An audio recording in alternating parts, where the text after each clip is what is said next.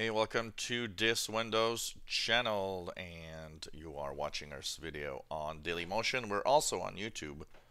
So basically this video is to explain to you how to remove the login password in Windows 10.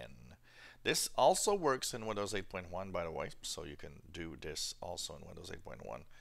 If you're using a Microsoft account, the annoying thing is that the little slider or the little um, you know on off switch for the password isn't there. It's there in the local account. You can remove password login, but you don't have that possibility in the Microsoft account login.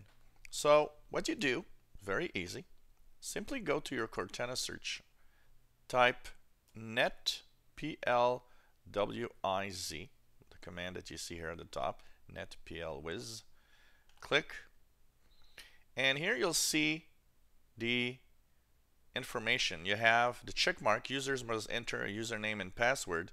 You remove this check mark and you click apply on the account and you'll see that it's going to ask for your password two times. So enter the password twice. Click OK and from now on no more password to log into your computer. It's as easy as that to remove the password. Be careful to choose the correct username. Some computers, even when you have only one uh, account, will sometimes show two usernames here. Choose the correct ones, very important. And it's going to be as easy as that. Next time that you restart, you won't have to enter your password.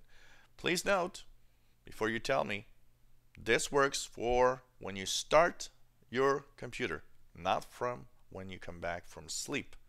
It's a different place and it's a different thing to have the password removed from sleep. This is for startup when you turn on your computer, removing the password.